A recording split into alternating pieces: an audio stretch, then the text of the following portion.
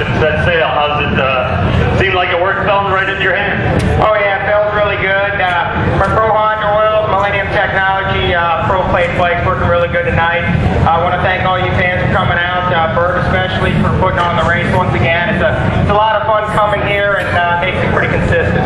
All right. Well, I'm glad you. I'll let you get back. Do you think you need to make any changes before the main event, or do you think you got it all dialed in? I will put some gas in it, and I think we're ready. All right, Jeremy, ladies and gentlemen.